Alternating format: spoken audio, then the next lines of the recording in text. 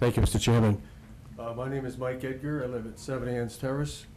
And I uh, wanted to mention that uh, the USS Virginia, we're trying to get an organizational meeting together. It's, right now, it's been scheduled for next Monday night, the 14th.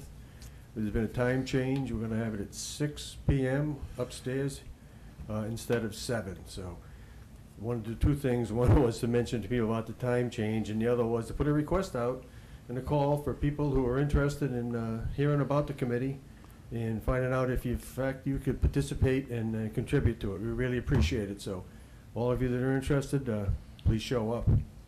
Thank you. Thank you.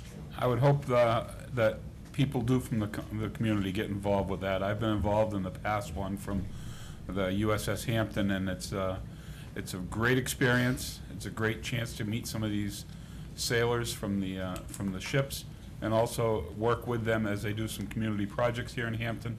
And I would encourage anybody that if they have a chance to, or they have an inkling to want to do that, to please do so. Come over to their meeting next Monday night at, at six o'clock and uh, see if it might be something that might fit into your schedule, but we, we hope you do. Yeah. Thank you. Is that in the conference room, Mike? You said upstairs? It'll be up- Upstairs in the conference room is the one that's, you know, Up- next to the town manager's office. Excellent. Thank you again. Anybody else from the public